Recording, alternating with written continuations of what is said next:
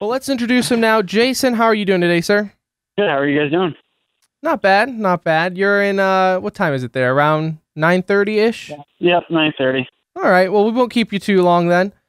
Uh so Jason, I guess tell us a little bit about yourself. So like I said, you you were with GotFrag, uh lead software developer there. Is that correct? Uh, so I, I joined them in the early 2000s. Um, I actually came to them with a uh, statistics system for Counter Strike stats, um, and I I kind of independently developed a, developed a system, and I was looking for a way to get it out there. You know, GotFrag was the place to go for uh, you know any esports related news uh, I came to them and uh, we talked it out, and uh, I hopped on board. Uh, you know, we ended up calling it GameSense. Uh, you know, a lot of people might be familiar with that. Um, so I was the lead developer on that uh, throughout its existence. And uh, so I, I coded that, and then I worked with uh, Jason Kuhn, who's the main developer of GotFrag, and you know, we worked on getting stats out there publicly for for everybody. I want to talk about GameSense since you brought it up there, because reading yep. through your your profile on your website and everything, that's the one thing that catches our eye there. Where so it's a it's it's a statistical match tournament tracking system that GotFrag used for any type of Counter Strike and everything there? Was it only Counter Strike? Uh, no, I mean we we started to expand to different games. Uh, you know, we started with Counter Strike. Uh, it was a pretty simple transition to Counter Strike Source. Um, we also did it for Day of Defeat. You know, everything is built on the Half Life engine, so you know, collecting the stats and everything was kind of a similar process.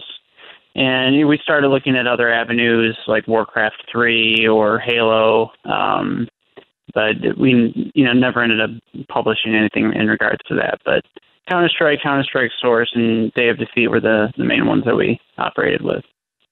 So if you could um, kind of compare it, I, I, know I've heard that nothing's really come to comparison to, to GameSense as of yet, but if you can kind of compare it to something out there now, I don't, I don't know if you've kept up with the statistical software that they've got going. Uh, is there any comparison in, into GameSense and nowadays? You know, I, I mean, I've, I've seen HLTV.org, uh, you know, put out some stats, and a lot of things are, you know, either very similar or taken from the type of stats that we were doing. But, you know, it's, uh, you know, we released in uh, 2004. Uh, I think 2004, uh, Winter CPL, and you know it's been well over 10 years, and and I, I still don't think that anything is.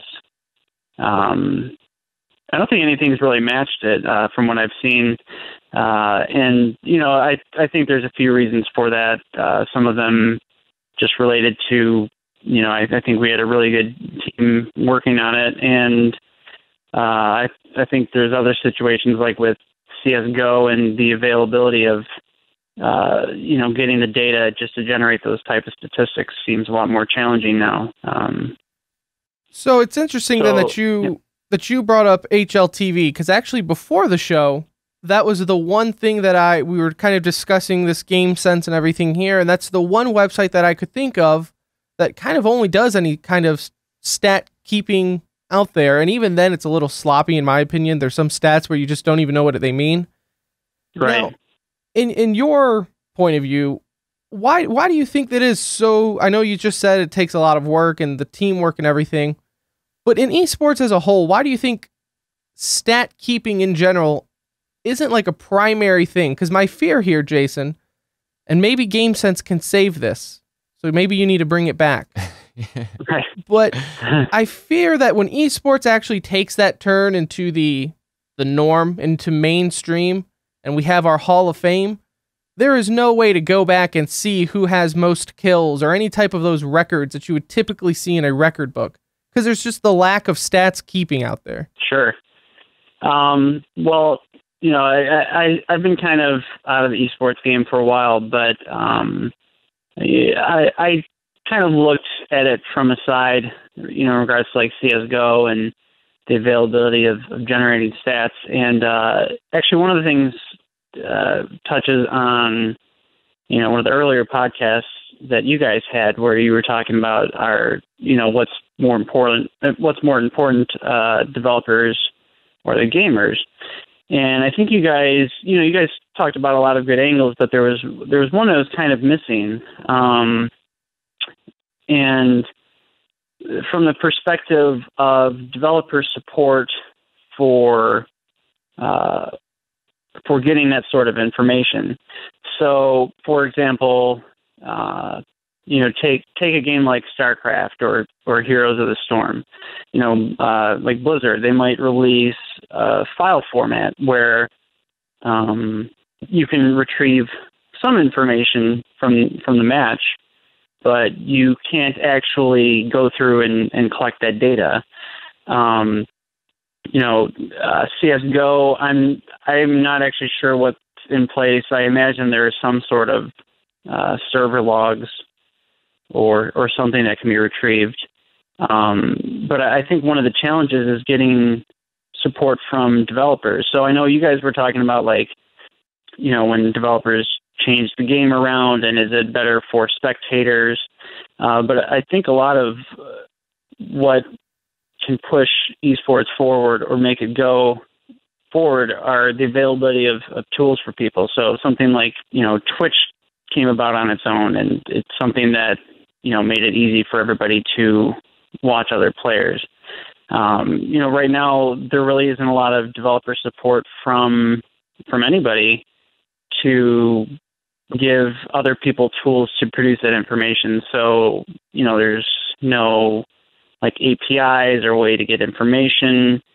Um, so do you think it's the developers? Do you think it's the developers well, kind of notice it being in their benefit to kind of keep that stuff on lock? I mean, I'm I understand like the more access you allow to to the data in the game, the easier it is to you know in the future either uh, cheat or you know mine it for different things, you know, nefarious reasons. So is it do they see it as kind of like you know their baby? They don't want anyone getting in there and messing with it, and that's kind of why they keep it keep it under closed doors. Uh, you know, well, I'm not even. I wouldn't even say it's that. Uh, I mean, any, anything in regards to this takes, um, you know, takes a lot of developer time.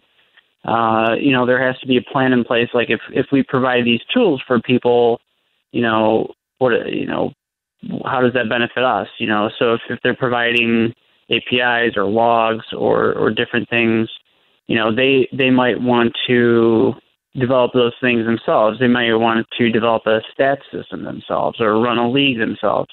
You know, and just you know, being a developer myself and having worked for you know several large companies or corporations, it it could just be as simple as you know we don't uh, you know until esports gets bigger, we may not have a need for that yet. Or in a case of like Blizzard, where you know, even you look at Overwatch where they kind of removed a lot of the scoreboard information from the matches. It it could be uh, a, the philosophy. Like I, I interviewed there at, at Blizzard uh, over the summer, and you know the philosophy has always been, uh, you know, like the quality of the game first over data, things like that. So I I, I don't think it's from from the perspective you said, I think it might just be more of lack of um, lack of a need that these developers or companies see to provide that, or they may want to provide it themselves, or lack of resources. It's I'm not really sure, but um, it can be frustrating for somebody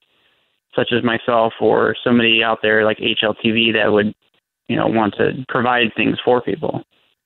So it's almost because the lack of demand, they're not supplying the supply and really, because before recent history, there has never been the need for it because before esports, there was no one looking back. I mean, unless it was just bragging rights, so you never needed stats. Well, so we kind of it goes even further uh, in into more traditional sports too.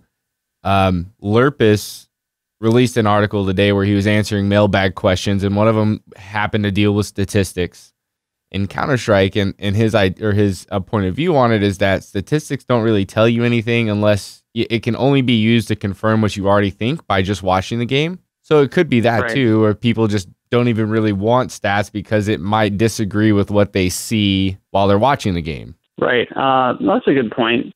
Um, and you know, I, I I wholeheartedly disagree with that statement that they can't really they don't really tell you anything other other than confirming what you see. I mean, you look at you know look at baseball, Moneyball, all that. Uh, you know, all these advanced statistics coming out like Sports VU and uh, in the NBA. There's there's so much information, and you know, granted, sometimes it's just data that you can't draw conclusions from, but um, there's you know the, there's a lot of information you can you can collect. Uh, you know, f- for example, with with GameSense, we uh, we did uh, we did an or I did an article on.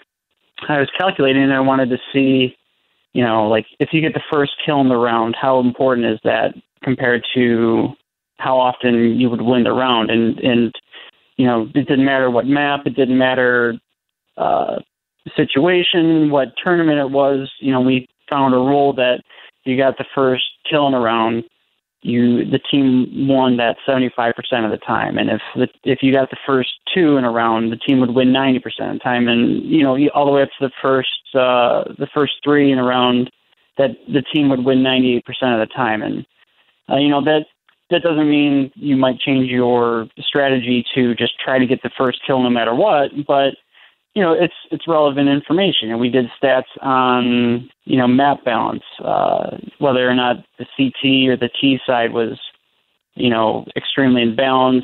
Um, you know, we were collecting information on you know uh, this tournament used a three minute round time, and this one used two and a half, and you could compare the stats and see you know is it more balanced to use one or the other.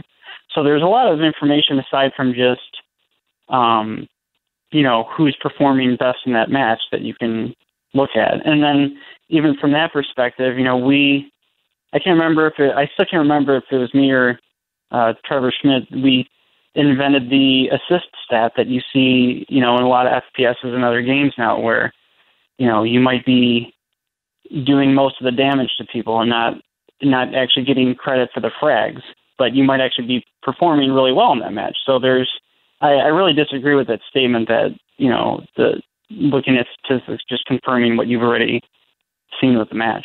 Yeah, I, I agree. I'm a, I'm a big advanced statistics guy for hockey, and I'm constantly throwing numbers out there because I think it tells you more than what you can see with your own eyes. Um, but just sure. to just to wrap up uh, the GameSense talk, if there could be what was what was the most interesting statistic that you guys collected and saw? What was what was one of the just the craziest things you would have never thought you would see until you looked at the data? Uh, I I think it was we uh, we used we we looked at every round that we had ever recorded, and um, we figured out the number of rounds that somebody won where um, say that all four of their all four of somebody's all four of your teammates were killed, and it was a one v five. And um, I can't remember the exact number, but I think the number of times somebody won a one v five was seven out of like ten thousand or something ridiculous like that. And you know that it's not totally surprising a statistic, but it's just cool to you know kind of figure that out when when you see the the actual numbers to it. Yeah, totally agree. So so there's that. Now, I did see real quick, I don't want to get too far because I don't want to keep you too long, and I want to bring up the MLG and all the GotFrag and now how Activision purchased them. But real quick, because right. we're still, I was looking at your website. Did we? Did you work on PunkBuster as well? Yeah, uh, that's actually kind of how I got started with, uh, you know, just gaming. I, you know, I was an avid Counter Strike player, and I played since you know Beta Six, and um, they had uh, you know, they detected cheats the normal way, but they had another feature that would take screenshots of players during the game. Um, and they had it for Windows. They needed a version for, uh, you know, Unix-based systems. So, you know, the guy who ran it put a call out, and you know, I told him, hey, I'd write, I write, I'd write that. So I wrote, uh, I wrote the program that converted their proprietary format to PNG and JPEGs and allowed it to be scriptable. So server admins could automatically upload screenshots of of players, and you could see whether or not they were, you know, using wall hacks or aimbots or you know things like that. Uh, so it's I got started in Counter Strike through through that. So have you ever had a, a friend call you and them tell you that you got them banned? no, but I, you know, it, it's funny because back in the day when the Counter-Strike.net forums were kind of like the main place, it was always when when somebody got caught, it was always you know a giant thread about it and, and going through and and just- you know, and then the person would say, hey, you know, that wasn't me, or yeah, it's.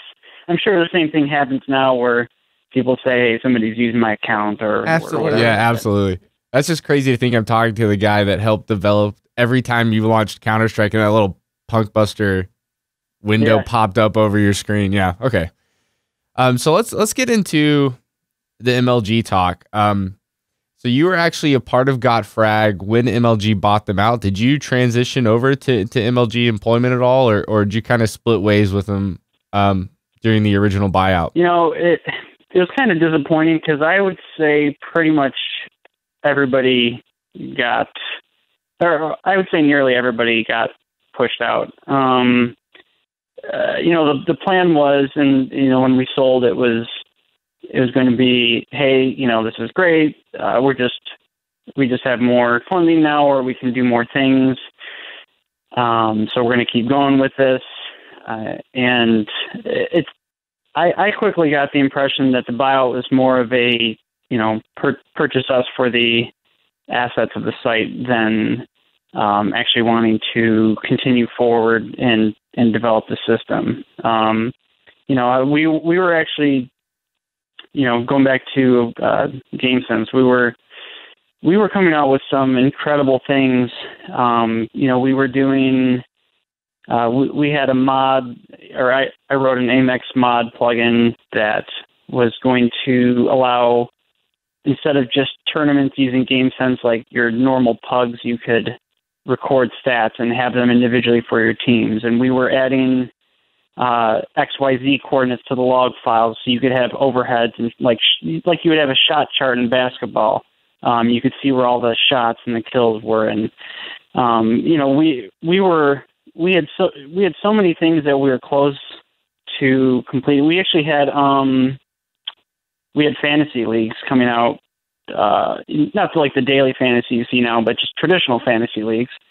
Uh, we had all these things coming out, and when we got purchased, it was like great. You know, now we're going to have some additional resources and you know some extra salaries, and it, you know as soon as we got bought, um, my like my work on that completely stopped. And I, I think for a lot of people, the same thing happened. And it was kind of this limbo where everybody is wondering, all right, what, what happens next? And nothing happened next. It kind of just stopped. It almost makes me upset hearing you talk about that though, with all those things that never were, because those are the things that not only as a as a fan, as someone who considers himself trying to do a show that would help out, but just Right. think of like how we were talking about with the advanced statistics. I mean, as a coach of a team, that's everything that you want. You want like almost like how like a heat map of where shots come from, and so if we're playing Fnatic, where on average on the B site does does you know JW shoot from, and that's something that that would have shown. Oh, absolutely. It's a, it's it's- actually pretty interesting to draw parallels now between, and it kind of makes me wonder where the negotiations actually happen. The parallels between M- MLG buying GotFrag and then Activision Blizzard now buying MLG because it's a similar situation. It seems like with it being mostly a purchase for the assets, not so much what was going on, but what has already happened. Essentially, Right, and you know, I I think you can draw some parallels there. Um, I, I think you know the situation with Activision and MLG was a little bit different. Just you know, I I wasn't you know I was like anybody else in the dark. I had no idea this was happening, but I I kind of got the impression that it was just kind of bailing them out of debt, and you know, Right. it's it, it the, the way everything went down, and you know what's happened to all of our shares now. It, it's kind of yeah, I, I mean, it's you know, back when it happened back then, it was disappointing. Um, uh, and when it happened now, it's just kind of. Uh, I wouldn't. If anybody's surprised by it, that would it'd probably be a mistake, just because it's. I I think anybody who's been around long enough could see something like this coming. Um, you know, I, I never, after the buyout when when we got you know half in a buyout, or half in cash and half in uh, shares. You know, back in 2007, I genuinely didn't think I would ever see anything from the shares, and if I did, I would just be happy I got something from it. So, uh, you know, I mean, there's still a chance we might get something from it, but it's probably won't be worth the paper it's printed on. You know, it's that's kind of disappointing, but so just one or two more questions because I don't want to keep you too long, but I definitely appreciate all the oh. insight from here. As a shareholder, I guess from the outsiders, all we have are those articles, and it seemed like the communication from business side to shareholders was just not there. As a shareholder, right. I mean, do you get, have they communicated with you at all, or was the sale really? I mean, yes, you said you you could see it coming, but was it as a surprise where, hey, by the way, your shares are now not yours anymore? right. Um, well, no, I mean, and it, there's a there was actually a good article in uh, Esports Observer that kind of went through the entirety of talking about you know incorporation laws in Delaware and how this how all this works. Um, and you know the the way everything is set up, certain levels of shareholders aren't obligated to, you know, have a vote or be a part of the meetings or, you know, the only the only thing we're obligated is GotFrag, we're Series B common stockholders. The only thing we're obligated is uh, a letter of what happened after those decisions were made. So we essentially had no say. Um, we weren't you know, by law, they they didn't really do anything wrong. We didn't have to be involved in any of that. None of us, as a collective, contained a majority of the stock. Um, so, you know, I'm the letter the letter is circulated around by now. Um, you know, we I got notified in an email. Uh, I was as in the dark as anybody else was about it, and you know, at first I heard, okay, cool, they sold, and I'm thinking maybe I'll finally get something for uh, the shares.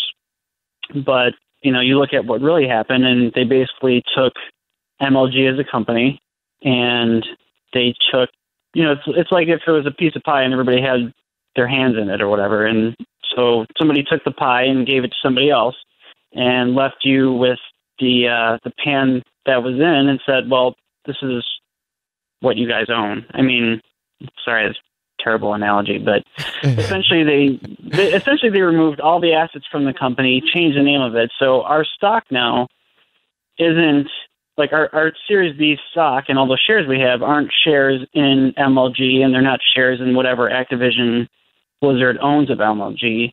Our shares are in this MLG Legacy Holdings that they changed the company name to. So whatever our stock is worth is the value of that company, which is literally just a company and name that has no assets to it. And after all the liabilities are paid out, and you know, I'm sure that there's a carve out plan of extra money that's mostly going to go to the, uh, you know, preferred stock members. But I have no idea what the shares are going to be worth. They were estimated, you know, like twenty-seven dollars a share or something, which was just, you know, probably plucked out of thin air. I don't know, um, but if they're if they're worth one cent a share, I would be surprised at at the end of all of this. Fascinating stuff. How things can turn around to where. Yes.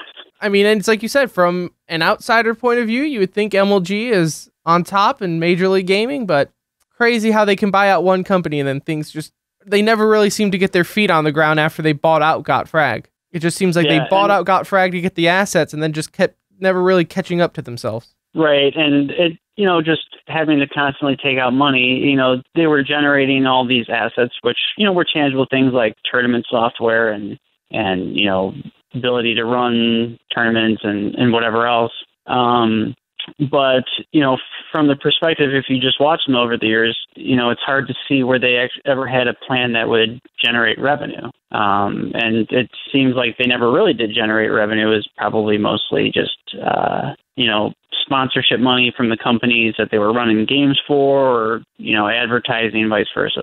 Uh, and it's funny because I feel like with GotFrag and some of the things we were doing, we could have actually got gotten some good revenue generation, something like you know an ESEA type system. And uh, you know, I I just the way everything went down, I think it was kind of short sighted because the number, the, the talent that GotFrag had and the passion everybody had working there, I, you know, I think they could have done something with it. And uh, I think they were mostly focused on console gaming at the time and, and just wanted the assets. So it's kind of too bad.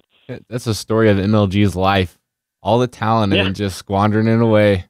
Well, no one can question what GotFrag was and has contributed to it. And even then, I mean, GameSense, I think we can look back when in the future when we finally have something. And I think people will look back at GameSense and say, you know, that's what kind of stemmed it all. I think you should get back at it, Jason. You need to you need to uh, kickstart that that GameSense stuff again. I need some You know, advanced I, I statistics. might look into it. I've been out of the I've been out of the game for a while and um itching to do some stuff and possibly do some esports stuff. So If just We'll- to we'll make our show research easier, yeah. that's the only reason you need. That'd be great.